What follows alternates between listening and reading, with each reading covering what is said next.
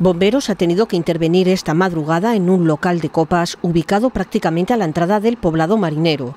Tres dotaciones han intervenido en torno a las 2 de la madrugada para controlar el incendio, teniendo que acudir otra unidad poco después ante la salida incontrolada de agua.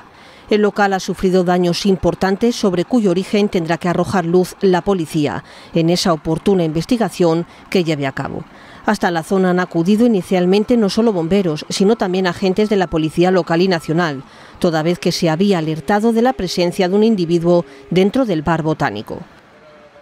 Lo que se consideraba en principio un robo dentro del local terminó con la evidencia de que se estaba ante un incendio gravísimo que ha causado daños importantes en todo el bar, uno de los más concurridos de la noche ceutí.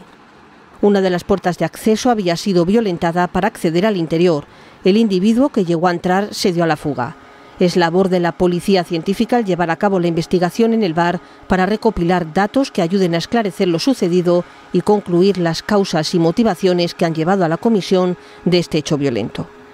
Afortunadamente no se han producido daños personales, aunque los materiales son cuantiosos ya que el establecimiento ha sufrido destrozos importantes.